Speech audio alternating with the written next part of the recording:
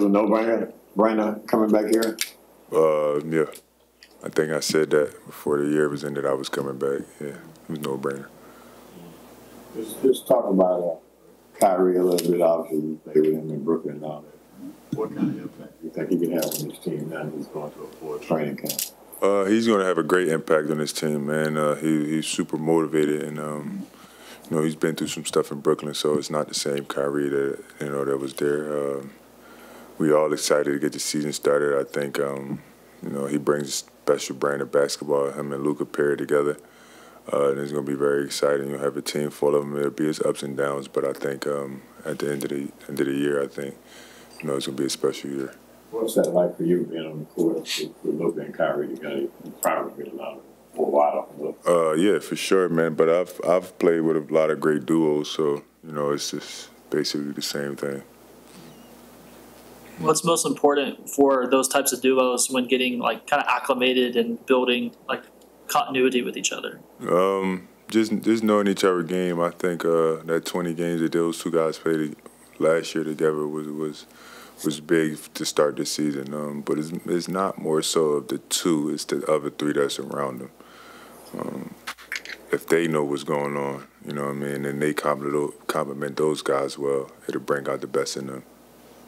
What are your thoughts on some of the new like veteran additions that were brought in, like Grant Williams and players like that? Grant is really not a vet, but we're going to let him be a vet because uh, he has signed his new contract. But you know, just to have a, a, great a great group of guys come in, a bunch of new faces, uh, a lot of different energy. Um, I love the young guys that we brought in. Also, man, they bring a lot of energy. Uh, obviously, Lavi's from Philly, so that's a big plus in my book. Growing up in Philly, how did you become a Cowboys fan? I know that was. I was. I grew up in the. I grew up in the '90s, man. You know, we all know in the '90s the Cowboys was America's team. Markieff, you, you tweeted out a few weeks ago 88, and now we're here. We see 88 on the jersey. Just what, what was the reasoning going to 88, and um, will that bring back some of the memories when you were in 88? Uh, yeah, I think uh, that's when I played my best brand of basketball lately.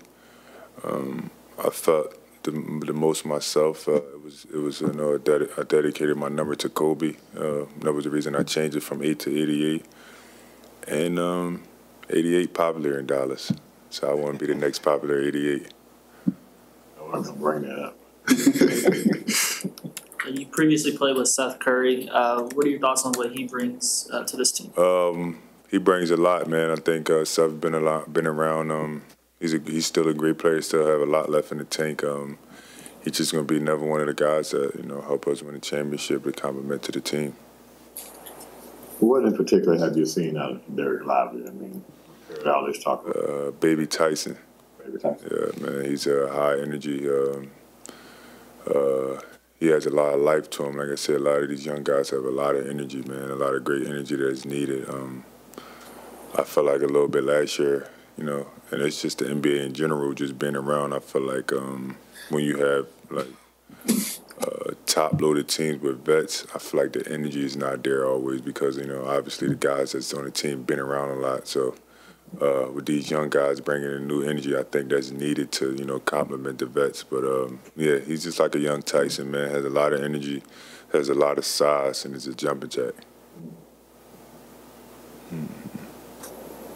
The average NBA career is four and a half years. You're about to start your 13th season. What's been a big key for you to sticking around in the NBA? Um, knowing what's going on, uh, knowing how to play the game, knowing how to respect the game, and always training like it's my first year.